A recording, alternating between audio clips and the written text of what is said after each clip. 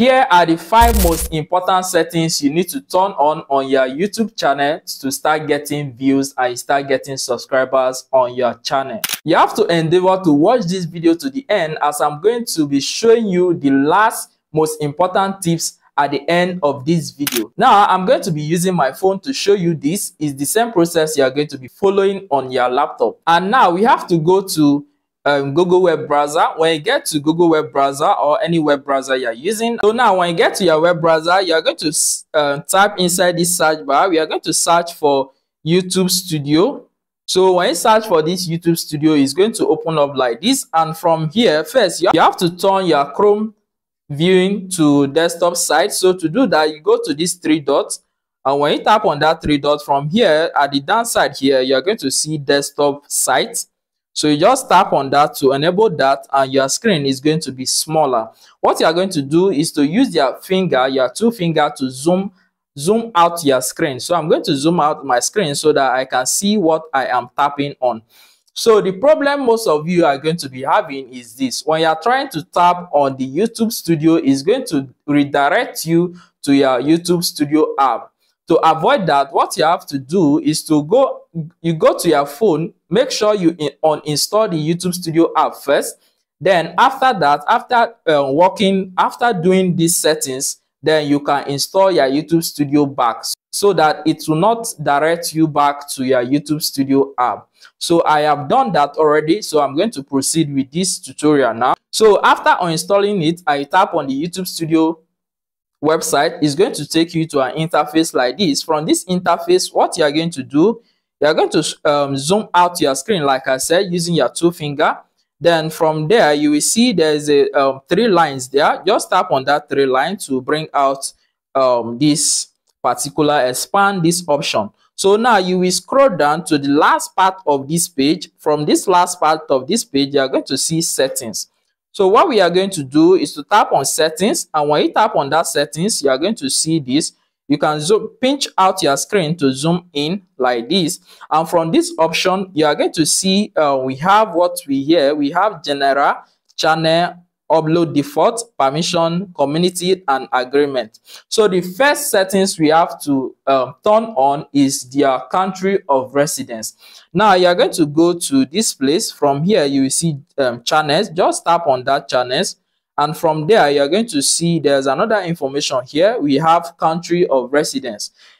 Um, select tap on the country of residence and please, if you're in Nigeria, make sure you're using your country so that you don't run into problem when you are trying to monetize your YouTube channel. So I'm in Nigeria. I'm going to select Nigeria as my country of residence and that is that. The second settings you need to turn on is the advanced settings. To do that, simply go over to your screen, um, tap on advanced settings, and when you tap on that advanced settings, you are going to see your audience. So if you if your channel is set for kids, then you can select it from here. If your channel is not set for kids, so that you don't have to be selecting this anytime you're uploading your video, then you can just um, select the no set this channel as not made for kids so that anytime you are going to upload your video it's not going to ask you this again then if you are uploading your video you need to set it back to um, this video is made for kids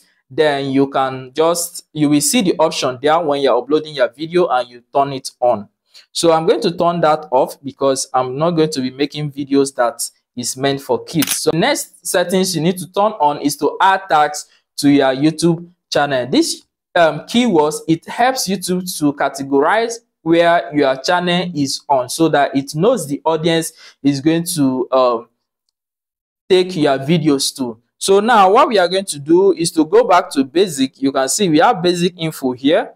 Just tap on the basic info. When you tap on that, you are going to see option called keywords what we are going to do is you are going to add these keywords according to the um the type of video you are, you are creating and what your channel is on. So let's say, for example, we are uh, talking about African folktales, but it is applicable to any channels at all. So what we are going to do is to tap on the add keywords there. So um, let's say African folktales, that is what our channel is on, African folktales.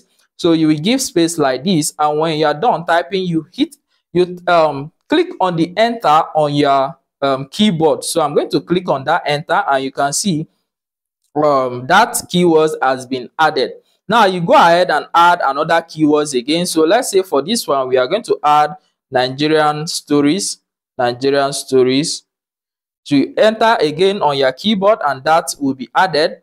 Then you can zoom out like this and um, continue adding your tags according to what your channel is all about. So if you see here, you can add um, characters up to 500 characters. So that is what you can add there. And when you're done adding your keywords, like I said, you tap on the save button here and that will be saved. So the next settings we are going to talk, talk about is your default upload. To do that, you go to your screen again and from here you will see what they call upload default.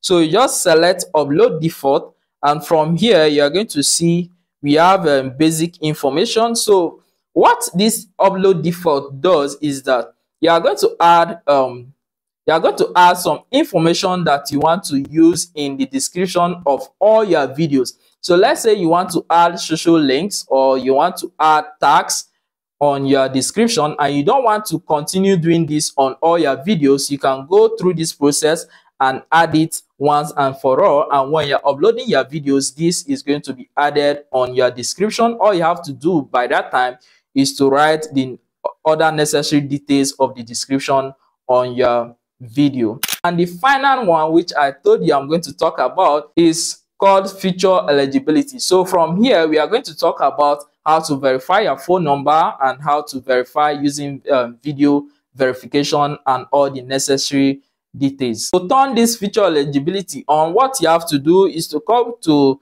um, channels here. You can see channel here. Just select that. And from this option, you can see we have feature eligibility. You are going to tap on that to turn that on. And when you do that, you are going to see these options that are here. We have the standard features. What this standard features does is that you will be able to upload videos. You'll be able to create um, playlists. You'll be able to add collaborators to your playlist and you can see other details that are here. So let's close that. You can see my channel is enabled for that. Next one here is intermediate features. So you can zoom out your screen so that you can see what you we are talking about. So from here what you can do when you're enabled for this you can upload videos longer longer than 15 minutes. You can add custom thumbnails. You can do live streaming. So most of you have been having challenges concerning adding thumbnails to your videos. Now, to um, enable this, you have to verify your phone number.